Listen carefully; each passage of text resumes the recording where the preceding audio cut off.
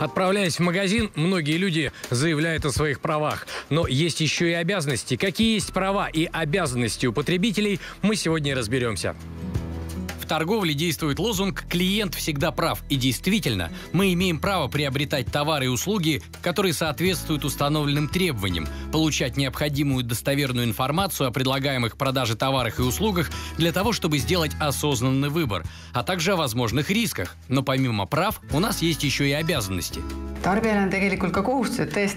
Потребитель должен ознакомиться с товарами или услугами до совершения покупки.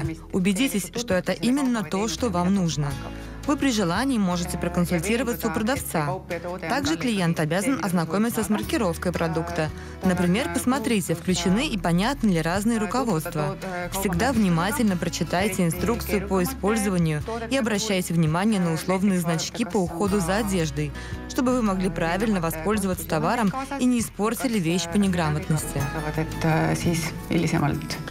Если продавец отвечает за проданные товары и услуги, то вы, как покупатель, обязаны правильно использовать товар и ухаживать за ним согласно инструкции. Из-за несоблюдения инструкции товар может испортиться или сломаться. В этом случае продавец и изготовитель не отвечают за случившееся, и вы не вправе требовать, например, бесплатного устранения поломки.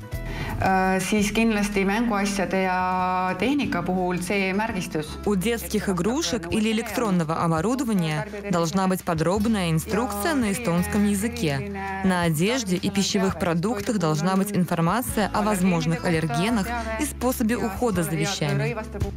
Если вдруг товар по какой-то причине не подошел, то тут есть разные варианты действий. Э, э, Если вы приобрели товар в интернет-магазине, то вы можете вернуть его в течение 14 дней. Но это право не действует в обычном магазине, потому что там вы могли ознакомиться с товаром перед покупкой. В обычном магазине вы можете вернуть товар только если в нем есть какой-нибудь дефект. Справедливости ради нужно заметить, что многие магазины идут навстречу клиенту и готовы вернуть деньги или обменять товар. Опять же, некоторые магазины не возвращают сами деньги, а дают подарочную карту на уплаченную сумму. Но в любом случае проще договориться с продавцом, если у вас есть чек. Э, если ваша покупка стоит больше 20 евро, продавец обязан дать чек. Если же покупка была сделана на меньшую сумму, то продавец должен дать чек по просьбе покупателя. Для разбора сложных ситуаций есть комиссия по потребительским спорам, но это довольно долгий процесс. Всегда предпочтительнее, когда стороны могут договориться между собой.